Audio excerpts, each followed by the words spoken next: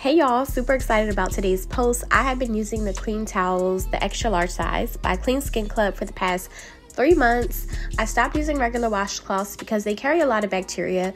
And with these towels, you get a new bacteria free towel every time.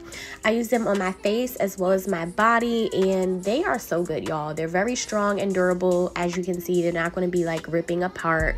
Um, you can use them for multiple things, so you can use them to uh, take off your makeup, wipe off your makeup brushes. You can use them to clean surfaces around your home.